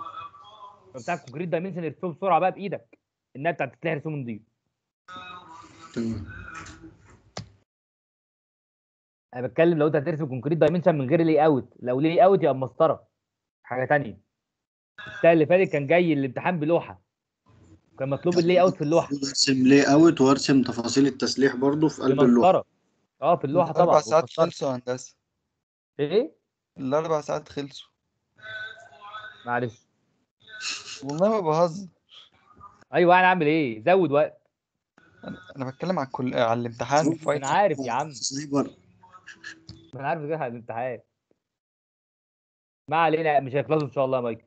احجز ساعة إضافي. اعكس الساعة أضافي آه. ارسم ال center line واكتب إن المسافة دي B أنا برسم باكيه واحدة بس. ما برسمش أكتر من كده. وبعدين هرسم بقى الشكل بتاعي بتاع الباكيه الواحده فهرسم الأول العمودين وما بينهم الكمرة دي الكمرة على فكرة بتاعت مين؟ بتاعت ال cylindrical والناحية الثانية شبهها. ومن هنا ال diaphragm ومن هنا ال diaphragm. اكني رسمت باكيه واحدة يعني. يبقى ده ال diaphragm وده ال diaphragm ودي ال cylindrical shell اللي في النص. اتفقنا بقى إن ال cylindrical shell اللي في النص دي السمك في كل حتة زايد زيادة 140 وفي النص بيبقى 100 فبفرق ما بينهم إزاي في ال plan؟ بعمل خط منقط كده. زي ال hollow block بتاع ال solid part فاكره؟ شبهه. أنا بقى الخط ده معناه إيه؟ معناه إن السمك بره الخط 140 جوه المربع ب 100 يبقى الخط ده بيفصل السمك ال 140 عن ال 100 وتعمل نفس الكلام ده هنا ونفس الكلام ده هنا وتاخد خط قطع. برسم باك يعني. تعال بقى نرسم التسليح حاجة حاجة. رقم واحد. التسليح الطولي. اللي هو التسليح الناتج من ال beam action. ركز معايا. هو ال beam action. كان ال moment بتاعك عامل إزاي؟ ال moment ال beam action عامل إزاي؟ سمبل بي simple beam. يعني بيشد تحت ويضغط فوق. عندك مشكلة؟ لا لا. طب يبقى الحديد بتاعك الرئيسي ناحية شد العزم ولا ناحية الضغط؟ ناحية الشد. طب السلندريكال اللي قدامك دي ناحية تحت خالص موجود إيه؟ كاميرات. الكاميرا دي والكاميرا دي. فقال لك يا باشمهندس لو العزم بتاعك موجب يبقى الحديد بتاع ال beam action يتحط جوه الكمرات. انت مطلع كام سيخ؟ مطلع وليكن 22 phi 16 زي ما كنا مطلعين مش فاكر مطلع كام. فالحديد ده بيتحط جوه الكمرة. طب يبان إزاي في ال plan؟ ده المفروض يبقى جوه الكمرة. يبان إزاي؟ بنفرده في ال plan يا باشمهندس خطين جنب الكمرة يمين وشمال. وبقول له إن يمين 8 phi 22 وشمال 8 phi 22 اللي هما ال total بتاعهم 16 phi 22 ال indication ده معناه إن جوه الكمرة ده اهي فيه 16 سيخ phi 22 اشمعنى حطيتها جنب الكمرة؟ لأن العزم بيشد تحت والشد هنا في الكمرات فلازم الحديد يبقى جوه الكمرة جنب الكمرة. اللي عملته هنا أعمله الناحية الثانية هو المفروض الحديد أول حديد. مظبوط. نعم. هو المفروض الحديد يبقى في جوه الكمرة نفسها. جوه الكمرة آه ده indication بس. تمام طب أنا ليه قسمته نص ونص هنا يعني. indication برضه هو هو معروف إن هو ست- 16 كلهم. فأنا قسمت أكن النص هنا والنص هنا. يعني النص على جنب الكاميرا من الناحية دي والنص على جنب الكاميرا من الناحية دي. واللي أنا اللي أنا حسبته كان كان 16 بس كان على النص اليمين والنص الشمال فعلشان كده يعني اتقسموا. آه. تمام تمام. وصل تمام كده يا جماعة؟ ده أول حديد. طب الحديد الثاني كانات بقى أرسم الكانات إزاي؟ أو قبل الكانات تعالى نرسم الحديد ده اللي هو بتاع ال partial fixation. ده بيبقى شوية حديد منقط كده واصل من المسافة ال 140 لحد جوه. أهو. وممكن تدخله جوه ال diaphragm كمان. يعني هو أصلا النقطة دي تبقى جوه ال diaphragm. يعني جوه الكمرة بتاعت ال diaphragm قيمته كام ده بقى؟ 5 phi 10 طب إيه كمان؟ الكانات بقى. الكانات بتترسم إزاي؟ زي ما كان مرسوم في ال plan؟ كده؟ وبعد كده بتميل؟ وبعد كده خط افقي والمفروض كانت تكمل؟ فأنا كنت قاطع بقى. وبرسم ثلاث كانات ك indication. طب هل الكانات تبقى فوق بس؟ لا ده الكنات يا باشمهندس بتبقى عند ال maximum shear. طب ال maximum shear فين؟ عند الدايفرام ده وعند الدايفرام التاني. فهتلاقي إن الكنات الناحية التانية أهي. فرح العمد. تعلق الزينه أنا اهي مرسومة زي الرسمة دي كده. قيمتها كام بقى؟ 8 فاي 8 بيترسم بالايد صح؟ امم بالايد طبعا. الكنات بالإيد طبعا. كده يا باشمهندس رسمنا كل الحديد ما عدا حاجة واحدة. إيه هي؟ بتاع ال arch action. ال arch action يا باشمهندس أما بتيجي تسلحه بتسلحه شبكة سفلية وعلوية. يعني إيه شبكة؟ يعني حديد موازي لل arch وحديد عمودي على ال arch minimum برضه. فلما يجي يترسم هنا بيترسم شبكة.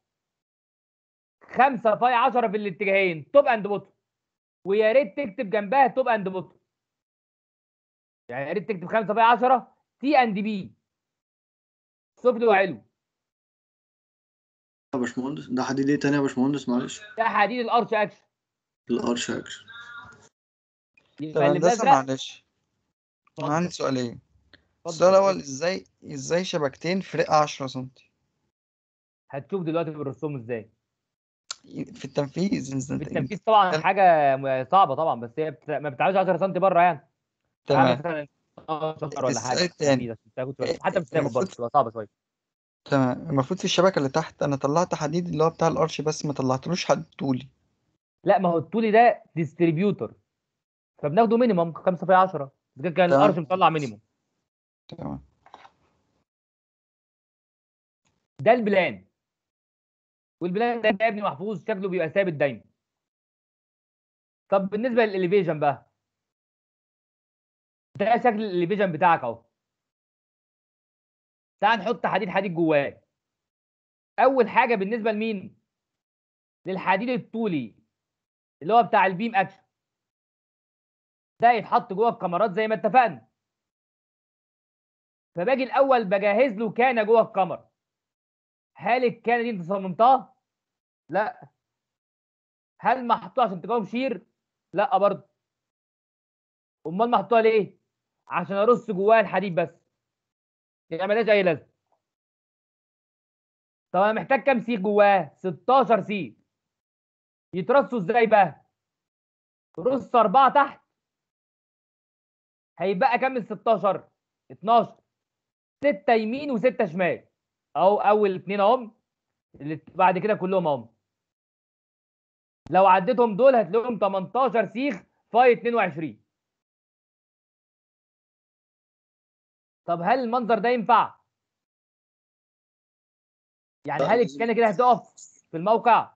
امسكها من فوق بقى بسخين آه لازم كمان. تمسكها من فوق. فبنحط سيخين من عندنا زيادة لتثبيت الكانة. phi 10 بقى صح؟ ولا؟ أقل حاجة phi 10 أقل حاجة اللي موجودة في phi 12 phi 10 أقل حاجة. لأنهم ما لهمش لازمة أصلا. واللي عملته هنا هعمله هنا. السؤال بقى. ده لو عندي كمرة أو لو عندي cylindrical with beam طب لو كانت ال cylindrical دي ما فيهاش كمرة أصلا. يعني عاملة كده.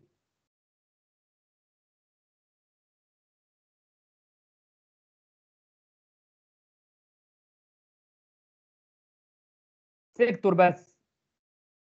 وقطعت كده. أعمل إيه بقى؟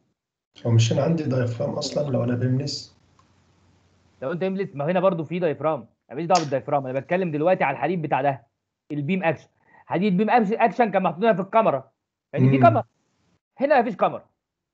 أعمل إيه؟ بص. ممكن تيجي اقسمهم نص. إيه؟ جنب بعض. على كل قصدي اتنين جنب بعض. قول إيه اقسمهم يعني بي- لا يعني لا لا ال تقسموش ولا 16 حاجة. بص بص هنعمل إيه؟ بنيجي على الحتة اللي ما فيهاش كاميرا دي وبنيجي هنا ما بنقفلش كده. ده كده غلط. المنظر ده كده غلط. أمال بنقفلها إزاي؟ بص القفلة كده. باجي هنا يا باشمهندس وأقوم جاي قافل دي بخط مستقيم من تحت كده. كده. بس دي مش كاميرا دي حتة من السلندريكال برضه. ونفس الكلام هنا. بعمل لها زي سقوط بس سقوط صغير مش زي الكاميرا سقوط كبير كده. وبعد كده باجي هنا أحط كان عاملة كده. شبه منحرف كده. وهنا برضو كان شبه منحرف. وبعدين تروح ترص الحديد جوه الكنس شبه منحرف بقى. 16 بتوعك تقعد بقى تزنق فيهم لحد ما يترصوا. طب العرض ده كام؟ برضو البي أو يعني هو هو ال 200 مللي. يعني بالآخر بخلق حتة للكاميرا أكنها شبه الكاميرا بس مش بسقوط كبير. سقوط صغير قوي ما يبانش أصلا. بس أهم حاجة إن يبقى عرضه كام؟ 200 مللي. وأعمل شبه منحرف جواه وأرص الاسياخ صعبه كده؟ طب في ال plan يا هندسة. في ال plan هيبقوا الخطين دول مش الكمرة هيبقوا الخطين دول بتوع الحتتين دول. فهيترسم نفس ال plan بالظبط. بس مش تمام. كمرة بقى. تمام؟ يعني هو نفس الرسمة بتاعت ال plan مش هتختلف في حاجة. تمام يا جماعة؟ طب هندسة معلش. في الح... في الحديد ده أنا هقطعه زي ما أنت عامل كده؟ لا في أنت قصدك في الموقع يعني؟ لا في الرسم. آه في الرسمة تقطعه كده آه تمام. منظر بس indication حاضر. أصلا الحديد ده المفروض يتوصل. المسافة دي 21 متر. فالحديد ده بيتوصل في أي حتة. أو بن... بنقرب بقدر الإمكان يتوصل قريب من ال diaphragm. بقدر الإمكان. اللي هي المنطقة اللي فيها zero moment أو قريب من ال zero moment طب ده يا باشمهندس بالنسبة لمين؟ للحديد الرئيسي. ناقص مين بقى؟ في ال elevation بيبان حديد arch action كمان. اللي هو الحديد ده. الحديد العلو ده والسفلي بتاعه. دول كده. طب ده الحديد الموازي للأرش. قلت لك إن الأرش أكشن شبكه يعني في اسياخ في الاتجاه الثاني بترص إزاي؟ المسافة دي صغيرة قوي. فبنرص الاسياخ دي. استجرد يعني إيه استجرد يعني اسياخ متقابلة لبعض. بص كده. سيخ هنا. والسيخ اللي فوق مش قدامه. وبعد كده السيخ اللي تحت مش قدامه. وبعد كده اللي فوق مش قدامه. وهكذا. كل سيخ كده. فبنسمي الحركة دي استجر. بنرصها إمتى؟ لو هنعمل شبكتين في سمك قليل. كنا عملناها قبل كده في الأرش سلاب. أيوه. وبتفرد الحديد ده هنا أهو. 5 في 10 ويبقى ده ال elevation بتاعك. يبقى ال plan ده يا شباب وده ال elevation. بيترسموا الاثنين في الامتحان. حد عنده مشكلة في ده؟ الفل.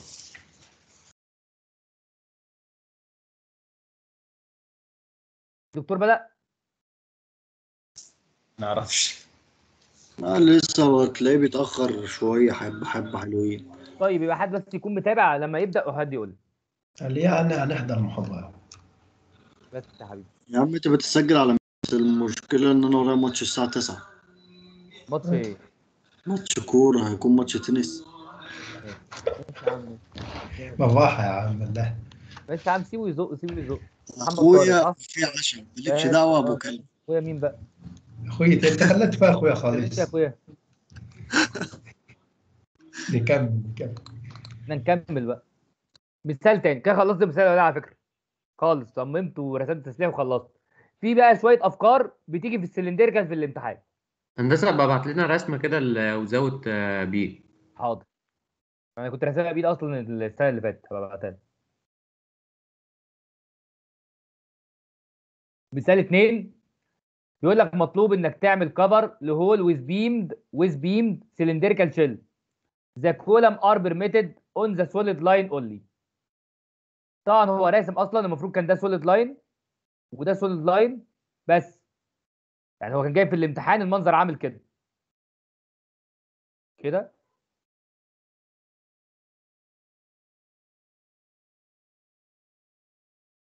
وكان عامل آخر حتة دي منقطة. كان بيقول له إن الأعمدة متاحة على ال solid line only مبدئيا اقترح يلا ال structural system هو عايز يستخدم cylindrical shell with beam هعمل إيه؟ ده الطول ده 21 والطول ده 35 على فكرة دي نفس مسألتنا اللي فاتت. فهعمل إيه يا ريس؟ هعمل هنا diaphragm وهنا diaphragm لأن متاح لي إن أحط عمدان هنا. على ال solid line ومتاح لي إن أحط عمدان هنا. هل متاح إنك تعمل diaphragm هنا؟ لا لأن لا. ال diaphragm محتاج عمدان. هو بيقول لك مفيش عمدان على الخط المنقط وبعد كده ال cylindrical بترص إزاي؟ دايما ال cylindrical بترص على الاتجاه الطويل. يعني ال cylindrical بتاعتك هتبقى عاملة كده. دي ال cylindrical أهي وممتده لجوه. وبعد كده ال cylindrical اللي بعدها. واللي بعدها. وهكذا. طب ال cylindrical دي ال statical system بتاعها إيه بقى؟ simple ب cantilever لأنها تمتد لحد الآخر. فدي cylindrical shell simple ب cantilever دي الفرق بينها وبين المسائل اللي فاتت. طب تعالى كده يا باشمهندس شوف الفرق بيفرق في إيه أول خطوه ال concrete dimension. نفس المسألة اللي فاتت بالظبط. لأن ال cylindrical ال span بتاعها بكام؟ 21 متر. طب وال cantilever؟ أكنك مش شايفه. يعني يا باشمهندس ال H بتاعتك ب 21 على 10 ال span على 10 هتقول لي ال span بتاعك ما فيه 21 وفيه 5 لا مالناش دعوة بال cantilever أكنه مش موجود. آه ليها دعوة بال span بس. اللي هو من من ال diaphragm لل diaphragm. فهتلاقي حتى الرقم ده نفس المسألة اللي فاتت. فال concrete dimension بتاعتك اللي جاية كلها نفس المسألة اللي فاتت بالظبط. الخطوة الثانية حساب الأحمال. طالما ال concrete dimension ما فرقتش فحساب الأحمال مش هيفرق في حاجة. هو نفس المثال اللي فات. بس أكيد هنزود ولا هو هيبقى نفسه؟ في إيه؟ يعني الكابولي مش هيختلف معاه مثلا في زيادة الحمل ولا هو هيبقى هو هو؟ لا هيفرق في الخطوة اللي جاية دي. الحمل إيه الكابولي كده كده أنت بتاخد cylindrical. shell واحدة وتجيب عليها الأحمال. هيفرق بقى في الخطوة اللي جاية. ال statical system بقى عامل إزاي؟ دي بقى اللي هتفرق. المرة اللي فاتت كان diaphragm و diaphragm فقلنا ال statical system بتاعنا simple أمال المرة دي؟ ده diaphragm و diaphragm وحته كمان ممتدة للآخر. فال statical system بتاعك simple ب cantilever وعليه الحمل اللي انت حسبته من المسائل اللي فاتت ولو عايز ترسم العزم فالعزم بتاعك هنا سالب وهنا موجب. ده كده العزم بتاع ال beam action. لأنه simple ب cantilever أسألك بقى سؤال. أما أجي أصمم ال beam action أصمم ال section الموجب ولا اصمم ال section السالب؟ اصمم السكشنين. يعني في الامتحان لو جات لك مسألة زي دي سعادتك غصب عنك. هتروح تصمم ال section رقم واحد وهتصمم ال section رقم اتنين. تاخد العزم في ال section رقم واحد تصممه وتاخد العزم في ال section رقم اتنين اللي هو السالب وتصممه. المفروض إن خطوات واحد. هو اللي بيمشي يا باشمهندس. نعم. مش المفروض إن حديد واحد بس هو اللي بيمشي؟ استنى بقى عليا. ده ده هيبقى في مكان وده في مكان تاني. هتشوف دلوقتي. إيه ده بس عليها ثانية.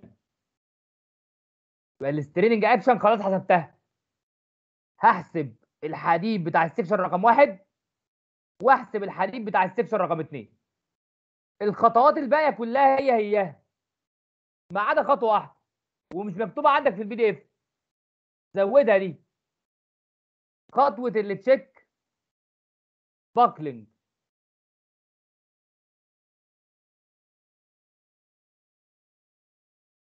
الدكتور دخل المحاضرة. على فكرة. بجد والله. آه والله أول مرة يجي بدري معرفش إيه اللي بيحصل ده. يا جماعة.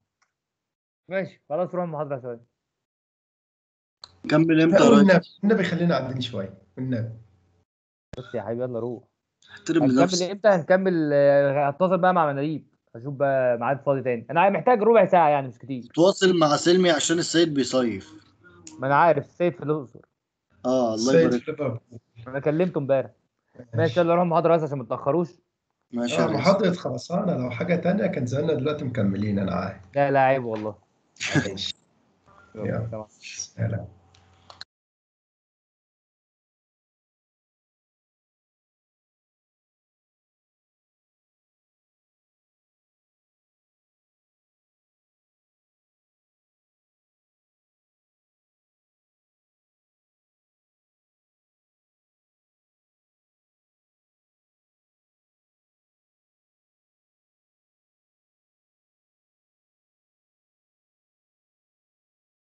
وقف التسجيل بقى يا باشمهندس. حاضر ماشي.